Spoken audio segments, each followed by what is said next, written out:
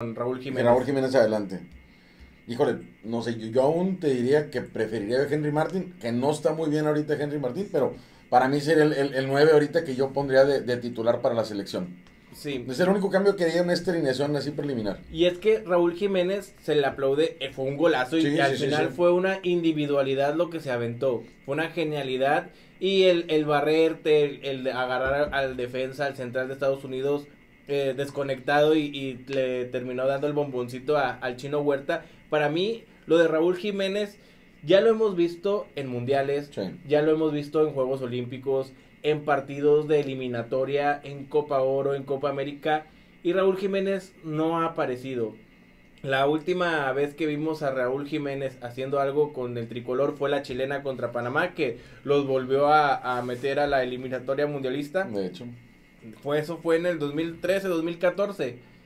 ya, ya pasaron 10, 11 años después de esa jugada y volvimos a hablar de Raúl Jiménez en selección. A futbolísticamente, porque siempre hemos hablado por situaciones extra cancha. Pero para mí, sí, Henry Martín es el delantero más regular que hoy tiene el fútbol mexicano. Pues eh, y, y, por abajo de él sí pongo a Raúl Jiménez, porque Ahí luego ya sigue Berterame, luego le sigue Guillermo Martínez, el, Chaco ah, Jiménez. Entonces, estos tres han sido irrelevantes, o bueno, también no hay que ser injustos, Berterame es su primera convocatoria, pero como uno y dos es Henry, Raúl, y luego al que, le, al que quieras poner como un tercero, da igual. Va a ser el Chaquito Jiménez, por, por eh, por edad y por todo, ni por estar en Europa de acá. Falta mucho, falta un año y medio, pero sí, sí me gusta esa, esas dos puntas con, con el piojo y con el chino. Esas dos puntas me, me gustan, me traen, se, me hacen interesantes, se me hacen dinámicos. Pero bueno, ojalá y se conserven todavía un año y medio más para llegar al mundial en buen nivel. es que la, la, la, regularidad del mexicano, y coincido con Higuera, es que hay mentalidad de huevones. Entonces, el futbolista mexicano, cuando en se empieza a sentir en, en, una zona de confort, en una comodidad, es cuando su nivel empieza a bajar. Y lo hemos visto en muchísimos casos. El eh, Jesús Gallardo, ¿cuántos años no estuvo en selección mexicana? Y fuera del partido contra Alemania, ¿qué, le, le, rescatamos a, a, a, Gallardo? Absolutamente nada. Eh, ahí Angulo, eh, que está en esa posición de la cancha, tampoco me gusta. Por ahí siento que esa posición sí va a cambiar, porque también tienes... No creo que Angulo sea el mejor lateral izquierdo que tiene México, ¿no? ni, ni de chiste. Porque tienes a, más opciones que obviamente van a ir creciendo a, conforme vaya acercándose el mundial y el jugador obviamente para hacerse notar va a subir su, su nivel de juego, la exigencia va a ser más por ejemplo, Jorge Sánchez, que fue el titular, creo, eh, por la derecha. Ahí tienes a Julián Araujo, que está jugando en, eh, en Inglaterra, en, la Premier. Eh, que para mí tendría un poquito más, que tendría que llevar mano. Y aparte de la calidad de Jorge Sánchez, ya no la sabemos. Y es, es muy, muy regular, es muy malita, es muy plana. Entonces, para mí, sí va a haber ciertos cambios en esas alineaciones que pueda ir mostrando Javier Aguirre, pero lo que sí tiene que ir mostrando es un cuadro base. Eh, y me gustó que le respetara la, el momento a Malagón.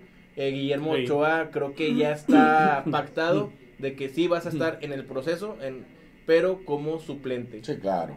Como Campos en su momento ya en el último de su carrera, apoyando al grupo, pero... Pues, o sea, sí, sí te voy a echar la mano de que llegues a tu sexto mundial, pero quiero, porque de hecho se excusó en el sentido porque le preguntaron a Aguirre por qué no, no jugó Ochoa. Y dijo, yo Ochoa no tiene nada que demostrarme, ya sabemos de lo, que, te puede dar. lo que te puede dar. Yo no conozco al tal Arrangel, no conozco a Malagón, quiero, quiero probarlos, quiero conocerlos.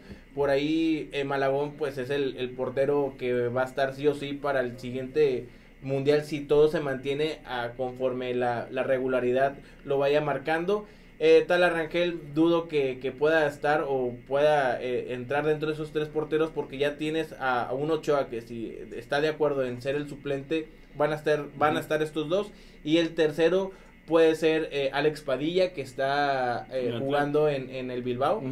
Y otros porteros más Julio, Julio González que, que le que pues, Eso también no me desagrada, ¿eh? Es bueno. Es bueno, sí, exactamente. Entonces por ahí se van a estar peleando esa posición de porteros que ya sabemos que va a ser Malagón.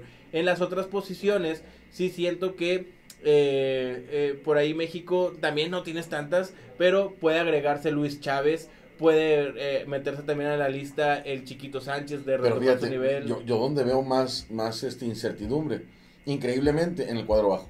Que es lo que siempre teníamos, bastión en la defensa y es donde veo ahorita más dudas en el cuadro bajo.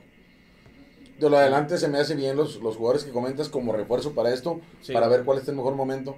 Pero si acaso llegan a hacer esto, no los veo mal. Y la defensa sí me deja dudas tanto en las laterales como en la central.